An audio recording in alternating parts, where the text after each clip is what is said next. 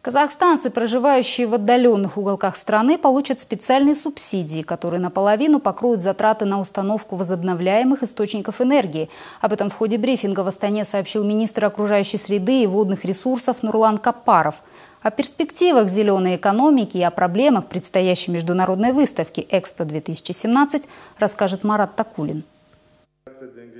Средства на установку компонентов, вырабатывающих энергию посредством солнца и ветра, будут выделены из государственного бюджета. По словам Нурлана Капарова, доля электроэнергии от возобновляемых источников в общем энергетическом балансе страны к 2020 году достигнет 3%. К слову, тарифы уже одобрены правительством республики.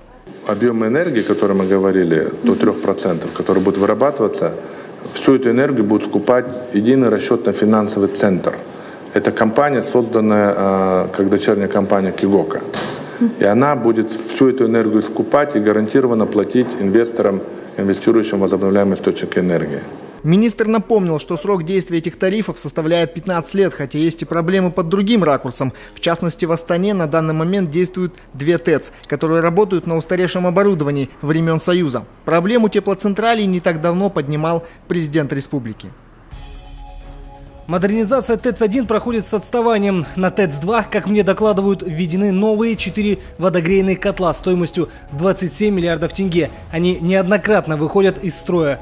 К слову, из-за задержки проводимых ремонтных работ он ежегодно дорожает. Соответственно, растут расходы компаний. Плюс ко всему, отсутствие специальных фильтров наносит ощутимый урон экологии столицы. Летом шлам по всему городу. В прошлом году в некоторых районах этого шлама было до такой степени много, что люди начали болеть. К тому же теплоэлектроцентрали вряд ли смогут обеспечить достаточным количеством энергии строящиеся объекты Экспо-2017. С тех самых пор монополисты, ссылаясь на устаревшее оборудование, подняли тарифы на 42%. Специалисты уверяют, пока ТЭЦ не переведут под госуправление, ситуация не изменится. Марат Такулин, Бауржан Нарымбетов, Информбюро, Астана.